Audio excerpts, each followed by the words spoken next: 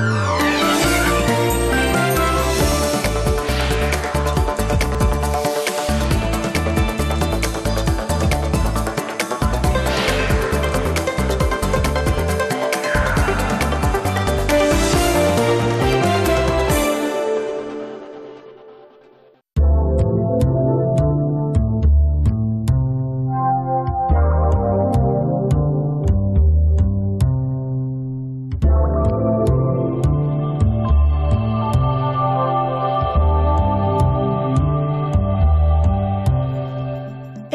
geniş kapsamlı Nilyalter sergisiyle ilgileniyorsanız İstiklal Caddesi Arter'de gezebilir, görebilirsiniz. Serginin başlığı kayıt dışı. Çünkü bu sergide kayda girmeyen göçmen işçiler, göz ardı edilen kişiler, korsan mekanlar, bastırılmış kişilikler ve dışlanmışlar konu ediliyor. Şüphesiz kayıt dışı otorite tarafından fark edilirse yargı, ceza ve düzenlemeye de tabi tutulacak. Paris'te yaşayan güncel sanatçımız Nilyal Ter'i Türkiye'de bulmak pek kolay olmuyor. Uzun bir aradan sonra çok geniş kapsamlı kişisel sergisi İstiklal Caddesi Arter'de açıldı. Nil Hanım şimdi birazcık eskiden başlayalım, sondan değil. Ee, sizi Arnavutköy Kız Koleji'ni bitirdikten sonra Paris'e gitmeye sürükleyen neydi? Ee, diyelim e, o zamanın İstanbul'unda e, hiçbir galerinin olması, olmaması, müze olmaması, yani diyelim ki bir kültür fakirliği diyelim. Çünkü maalesef öyleydi.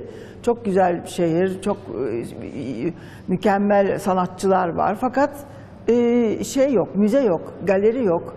Doğru dürüst tiyatro bile az. Gene tiyatro daha ileriydi. Bütün bunların eksikliği beni bir nevi e, kültürel e, göçe sürükledi. Yani benim bir bir nevi göç bir yerden başka bir yere gitmek. Evet, göç konusunu Daha çok zengin, işlediniz. daha zengin kültürleri tanımaya çalışmak. Çağdaş kültürlerden söz ediyorum Evet. tabii. Demek ki aklınıza koymuştunuz. Hindistan, İran kendinize uzun bir sabbatical verdiniz ve bir buralarda dolaştıktan sonra Evet. Paris'e yerleşmeye karar verdiniz değil mi? O ülkelerdeki değişik dinler, diller, ırklar sizi etkilemiş olabilir mi? Yoksa zaten Çok, lise yıllarında çok, çok, kafanıza çok. koymuş muydu? Yok çok yani üniversiteye gitmedim ama üniversiteye gitmiş kadar oldum o bir buçuk senelik e, yolculukta. Çok zor bir yolculuk. Ne uçak ne bir şey Yok öyle. canım yürüyerek, otobüslere binerek, Otostop yaparak. mevki, e, trenlere binerek, otostop yaparak. e, çok zengin tabii.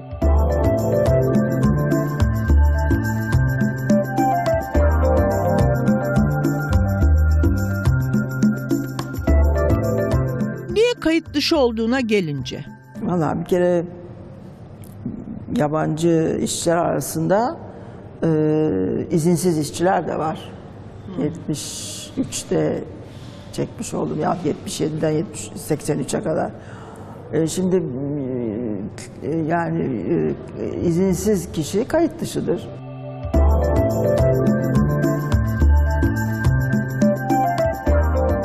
...1938'de Kahire'de bir Türk anne babadan doğan Nil Yalter...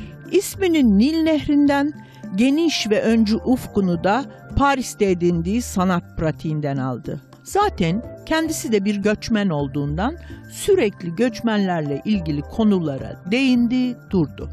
O günün e, sanatçıları, İstanbul'da oturan sanatçılar ve ben e, hepimiz Paris e, hayranlıydık ve Paris özlemiyle e, e, gitmiştim daha evvel çünkü yaşıyorduk. Ama bugünün İstanbul'u olsaydı belki gitmezdim. Çünkü çok canlı bir kültür Ortamı. e, görsel görsel sanatlarda çok canlı bir kültür ortamı var. Örneğin Arter ve buradaki sergiler açan, burada sergiler açan Türk sanatçıları, genç Türk sanatçıları fevkalade Öyle işler yapıyorlar. değil mi? Bence şimdi Fransa'dan çok daha büyük bir enerji var e, İstanbul'da. Güzel sizin böyle görmeniz Evet, çünkü evet. geniş bir bakış açısıyla Evet, evet. uzaktan bakıyorsunuz. Ee, o zamanlar gittiğinizde Paris'e madem aklınıza düşmüştü sizin böyle e, ressamdınız ama değil evet, mi? evet, tabii tabii. O zaman resim soyut, soyut resimler yapan bir ressamdım. Evet. Sonra ne zaman bu tuvallerden e, işte nasıl söyleyeyim e, tablodan çıktınız?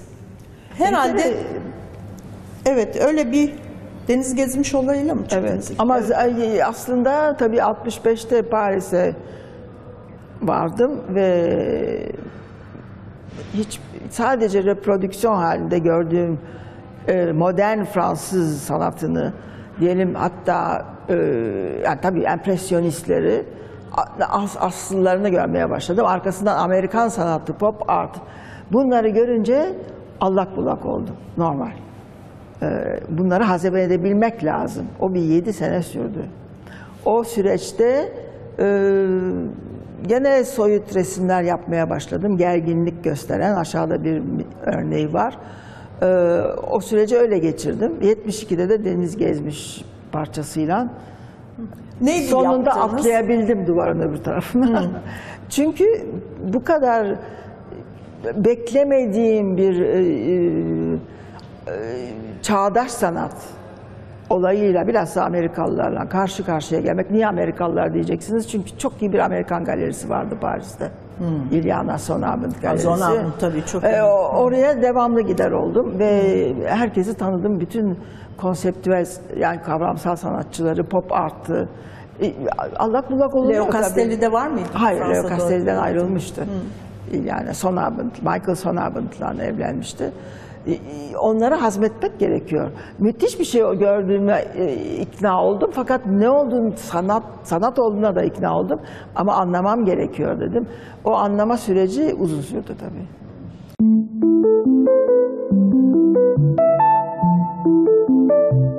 Nil Yalter 1973'te Orta Anadolu'daki göçebe aşiretlerle ilgilendi. Öğrendi ki bu aşiretler artık gezinebilecekleri veya sürülerini otlatabilecekleri arazi bulamıyorlardı ve pek çok erkek çalışmak için İstanbul'a göçmüştü.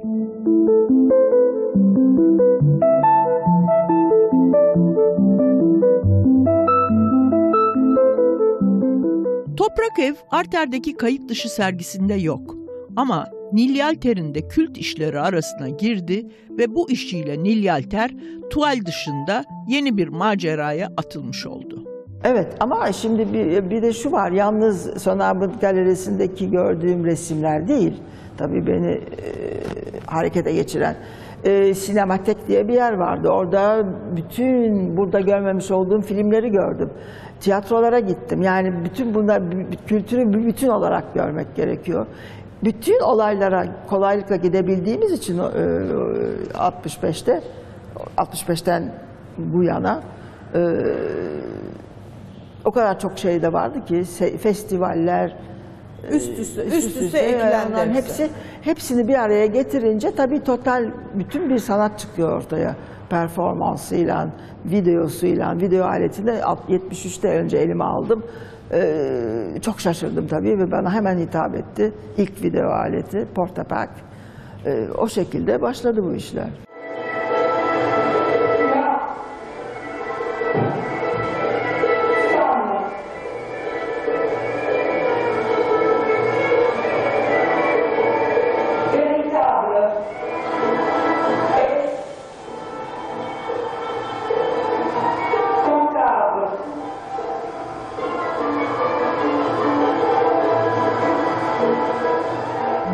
De sizi böyle en belirgin bir biçimde tanı- tanıdığımız işiniz bu göbek dansı ya da başsız kız mıydı? Başsız kadın veya Başsız göbek kadın dansı. veya göbek dansıydı. Kadının e, erkek tarafından asırlardan beri e, ezilmesi, kadının e, seksüalitesinin yasaklanması, e, fizik ve moral açıdan. Çünkü unutmayalım ki Afrika'da hala sünnet ediliyor kadınlar. Yani bunlara değen bir yazı, o yazıyı yazdım. Yani ama geleneksel olarak yola çıktığım şekil Anadolu'da bana bir etnolog bir arkadaşım bunu anlattı. Ee, be- belki yoktur ama Afrika'da da aynı töre var. Anadolu'da e, çocuk yapamayan veyahut da eşini e, şey etmeyen yani her şeyini dinlemeyen kadınları hocaya götürüyorlar. Başları kapalı, göbekleri açık. İşte hoca da bir takım yazılar yazıyor eski Türkçe göbeğinin etrafına. Yani form olarak o, o bu hikaye, bu töre beni çekti. Ee, böyle bir video yaptım. Aslında bir performans hiç şey yok, editing yok. Yani Ham kesme, band. ham band. Ee, fakat aynı zamanda bir video eseri için yapılmış bir performans. Yani o performansı çıkıp sahnede yapmıyorum yahut da ortalıkta yapmıyorum. Yani sırf o video görüntüsü için yapılmış bir performans. Peki bu dönemde var mıydı bu tür işler Paris'te? Çok az, çok az. Ha, bu bir kere feminist bir iş tabii. Ee, ben böyle bir iş zannediyorum yoktu ama video yapan vardı, performans yapan da başlamıştı. Amerika'da çok vardı. Yani Amerika çok daha ileriydi bizden. Biz hep Fransa'da bir 5-6 sene geç, geri kalırız.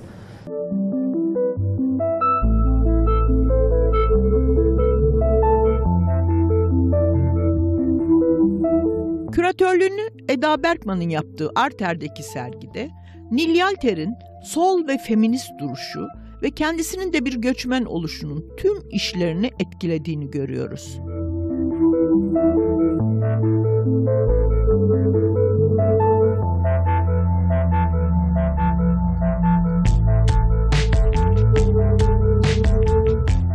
Deniz Gezmiş başlıklı işi Yalter'in 1972 yılında Deniz Gezmiş Hüseyin İnan ve Yusuf Aslan'ın idam kararları sürecinde İstanbul'da kaldığı küçük odada ürettiği işleri kapsıyor. Şu anda bu sergideki favori işim eee, Deniz Gezmiş ve Pixelismus açıkçası. Çünkü hiç bu şekilde göremedim bunları. Deniz Gezmiş işini hiçbir zaman çerçeveli bir sergi alanında görmüş değilim bugüne kadar. Hmm. Demek Onun için öyle. şimdilik favorim oluyor tabii.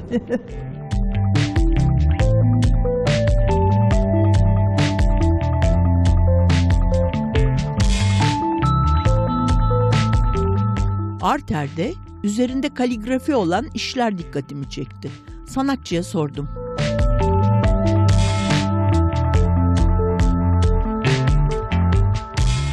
Sanatçının sergideki diğer favori işi Pixelismus. Bu eserde Nil Yalter, Kariye Müzesi'ndeki mozaiklerden etkileniyor. Kariye Kilisesi'ni, camiini gezdim ve çok çok güzel restore edilmişti. Ve beni çok büyük bir ilham kaynağı oldu. O duvarlardan yola çıkarak, mozaiklerden yola çıkarak, bir de tabii o, dere- o, o, o devirde yeni teknolojilerle çalışıyorum, sanal e, e, imgeler yapıyorum. Piksel diye bir şey var. Küçük küçük mozaikler E, piksel evet. gibi. O Evet. ikisini birbirine karıştırdım. Malevich'in teorik e, dersleri var, cümleleri var. Onlardan yola çıkarak e, aklımda böyle bir y- 26 tane dörtlük yapmak e, e, resim olarak. O resimleri yaptım. 94'te de ilk sergim Aksanat'ta. Türkiye'ye 13 sene sonra geldiğimde Türkiye'de ilk ciddi sergim. Video var, katalog var, bu resimler var. Çok iyi bir sergiydi. Ee, 94'teydi. 94'te Paris'e döndükten sonra o etkileşimli bir video yapmak aklıma geldi bu bütün bunlarla. Şimdi burada ikisini bir araya getiriyoruz.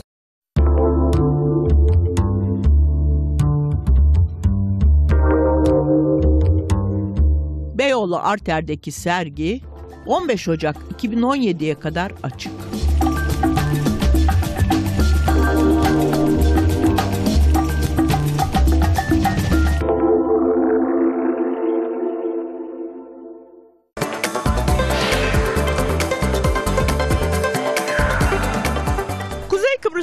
Cumhuriyeti'nin Girne kentindeyiz. Burada bir iş adamının başlattığı Kıbrıs'ın simgesi olan Bulileri ve Buli projesini görmeye geldik.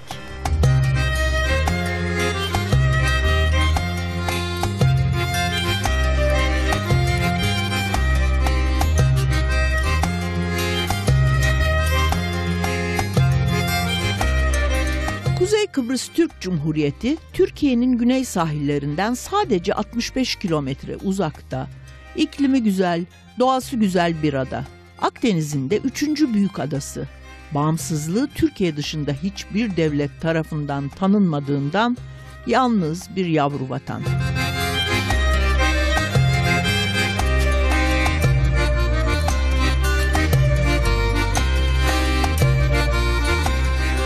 Tam da bugünlerde İsviçre'de Türk ve Rum liderler adanın tümünün kaderini görüşürken kuzeyde Kuzey Kıbrıs Türk Cumhuriyeti'nde hayat her zamanki gibi akıp gidiyor.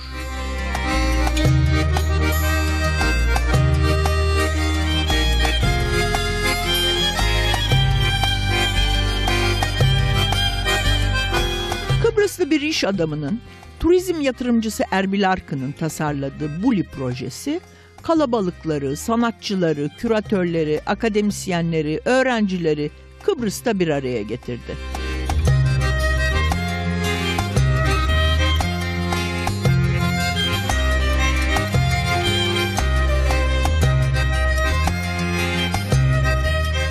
Yıllardır bir arada yaşamanın verdiği alışkanlıkla Buli, adalıların tavuk, piliç, horoz gibi kümes hayvanlarına verdikleri ortak bir isim.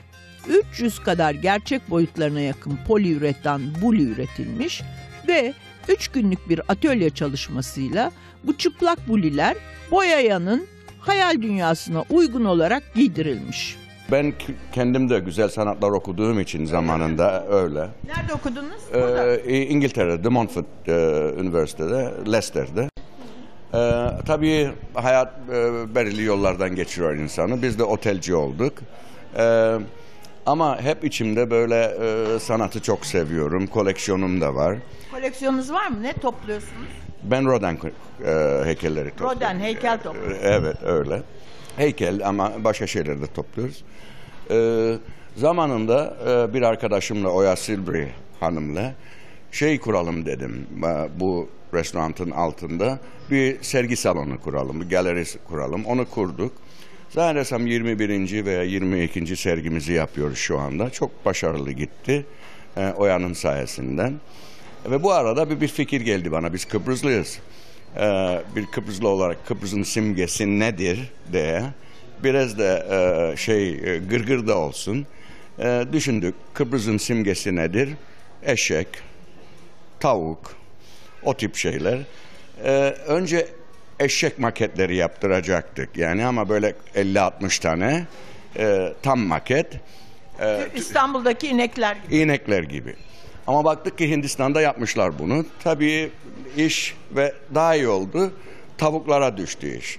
Ee, Kıbrıs'ta da e, Argos'u tavuğun Venediklerden gelme bir ismi var. Bulli derler. O da Pula'dan gel- geliyor. Yani Latince'de Pula, Pula'dan tabii yüzlerce senenin içinde gerek Rum gerek Türk e, Bulli kelimesi çıktı.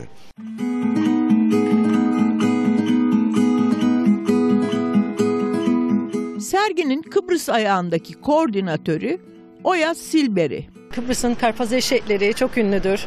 At gibi büyüktürler. Ee, önce dedik ki e, eşeklerden başlayalım. Hani onları dekore ettirelim sanatçılarımıza ve yurt dışındaki sanatçılara ki bunu da yardım amaçlı kullanacağız e, ileriki aşamada sergiledikten sonra. Sonra e, çok pratik olmadı. Yani e, büyük, büyüklüğünden dolayı hani e, yurt dışına göndermek, oradan geriye almak çok e, pratik bir çözüm olmadığı için Bulli'ye çevirdik.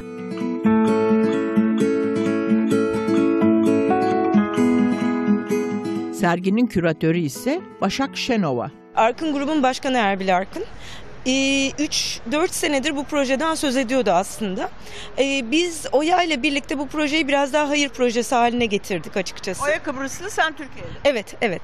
Ee, ve e, amaç birkaç amacı var. İlk amacı, ana amacı Suriyeli mültecilere yardım etmek. Ama e, ikinci amacı, e, burada iki tane atölye çalışması yaptık.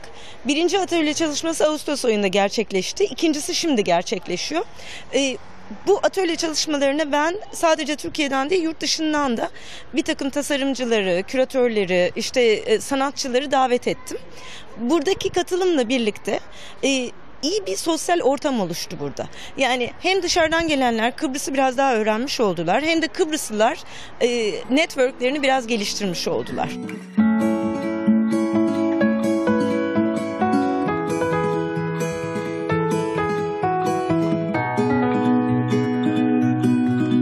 Proje gönüllüler arasından seçilen, eli boyamaya, aklı yaratmaya uygun kişilere verilmiş.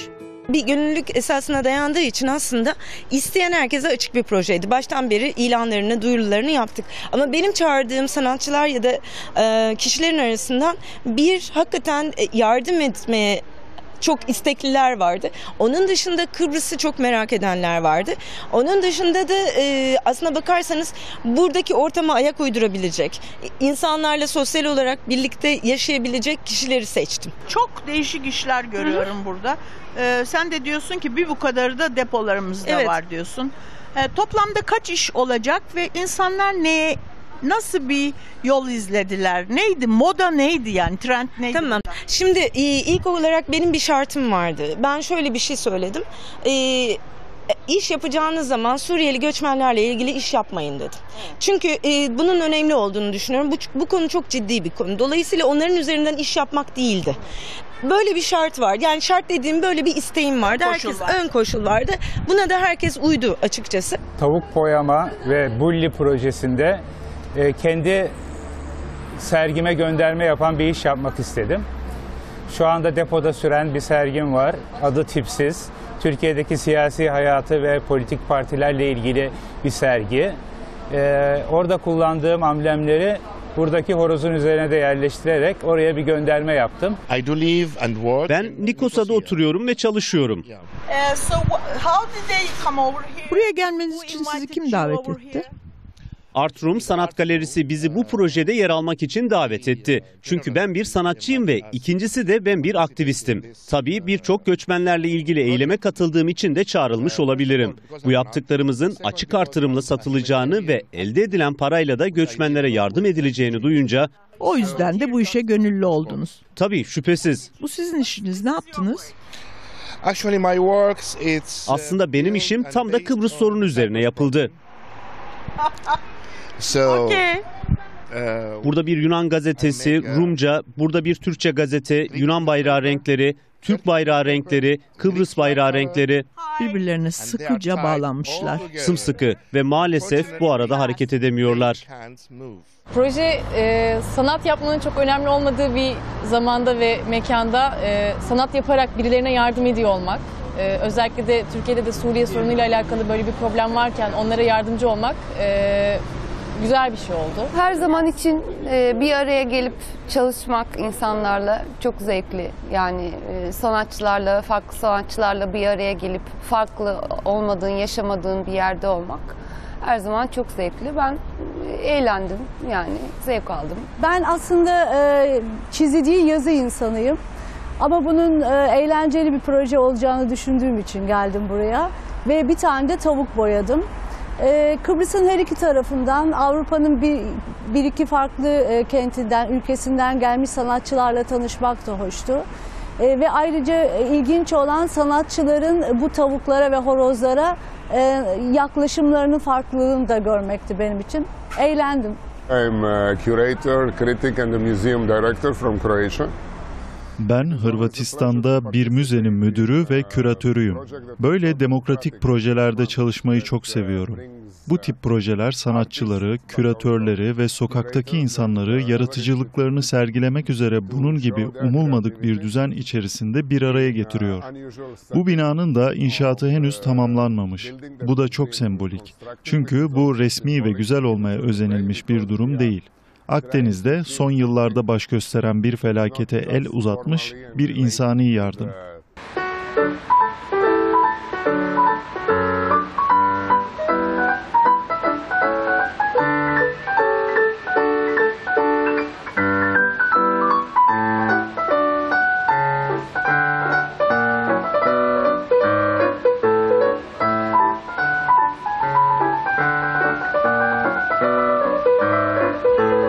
Ulileri boyayan en küçük sanatçı ise bir yetenek zaten. Daha önceki saatlerde kendisinin bir piyano parçasını dinlemiştik. Maya sadece 9 yaşında. Nereye gidiyorsun? Konservatuvara mı? Evet, Bilkent Müzik İlkokulu'na. Yani hem konservatuvarda piyano çalıyorsun hem bunları boyuyorsun. Evet, aynen öyle. Ve duydum ki sen birden fazla iş boyamışsın. Evet, geçen yıl çok boyadım. Bu, e, bu yıl da boyadım. Kaç tane boyadın? Ee, toplamda sanırım 9 tane boyadım.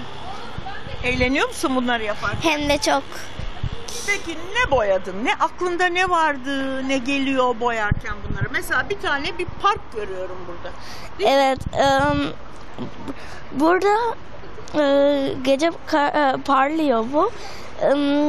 Orman yapmayı düşündüm.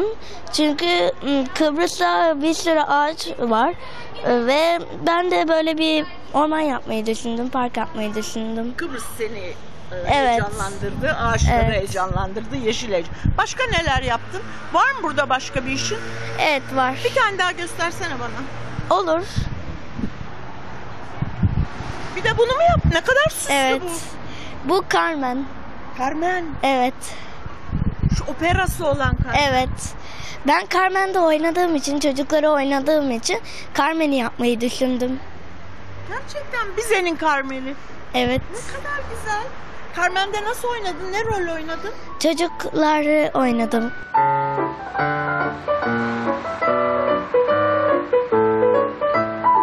Ben aslen Mausalıyım da son 3 haftadır Türkiye'ye taşındım. Öyle mi? Neden? Em, yüksek lisansımı tamamlamak için tez aşamasındayım şu an. Tezimi yazmaya geçtim. Ne yaptınız burada? Burada em, birkaç iş yaptım aslında. Birkaç farklı temadan yola çıktım.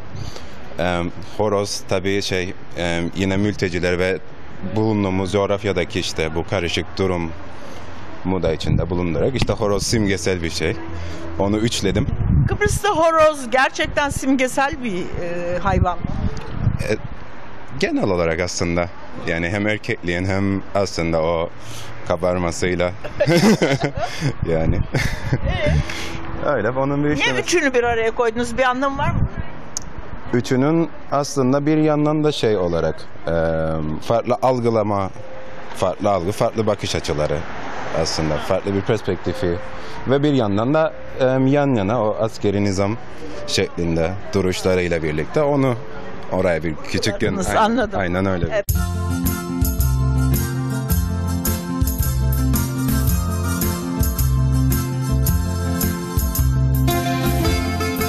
Güney Kıbrıslı sanatçı ise kendi bahçesini horozlarına da yansıtmış.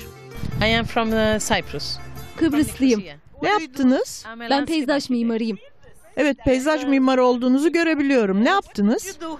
Here is a, a lot of seeds and Burada benim bahçemden pek çok çiçek ve tohum var. Benim tamamen doğal olan turunçgiller bahçemin konseptini kullandım.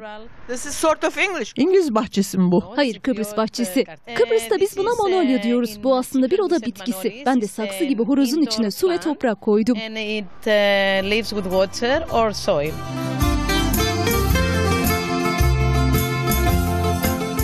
Boyanan buliler bitmemiş bir inşaatın giriş katında sergileniyor. Sanatçılar bu mekanında Güney Kıbrıs, Kuzey Kıbrıs ilişkileri gibi henüz tamamlanmadığını söylüyor. Tam karşıdaki bina ise yine iş adamı Erbil Arkın'a ait bir sanat galerisi. Orada da Kıbrıs'ın en tanınmış sanatçılarından Emin Çizenel'in bir sergisi açılıyor. İlk duyduğumda çok heyecanlandım. Çünkü bu adanın da yazgısında var olan bu derin acıları ne yazık ki coğrafyamız bütünüyle yaşamaya başladı ve e, her gün e, içimizi çok acıtan e, gayri insani e, haberlerle karşılaşıyoruz. Biz Mülteciler krizi. Evet öyle ve biz Kıbrıslılar olarak buna empati çok iyi empati yaparız çünkü biz de yaşadık böyle bir durumu. Yani bu göçler, e, yer değiştirmeler ve ölümüne e, yer değiştirmeler. Ben de iki bir şey Gördüm boyadım. sizin işinizi. Mesela kafasında, horozun kafasında bir elma var böyle gibi. İşte vü- vücudunda da kurşun delikleri var. Kıbrıs'ta e, Kıbrıs'tan alınmış, Kıbrıs duvarlarından alınmış kurşun delikleridir onlar. O ir- ironik bir durum o, orada hasıl oldu. E, başına bir şey koydum. Vücudu kurşun delikleriyle parçalanmış ama e, başına ateş e, o elmaya ateş edilecekti falan. Yani böyle böyle bir ironi var orada. Bunu herkes boyayıp bitirdiği zaman ne yapacaksınız? Ee, bu gördüğünüz e, karşı tarafta bir galerimiz var. Galerimizin bahçesinde, yollarda, sokaklarda organize edebildiğimiz her yerde e, göstermek istiyoruz. Ve yani ne kadar çok bunun tanıtımını yaparsak, ne kadar ilgi e, toplatırsak bu projeye düşünüyoruz ki yani e, satışlar daha iyi olur, daha iyi bir gelir elde edip Yani kişilere mi kurumlara mı satmak istiyorsunuz? kim alırsa.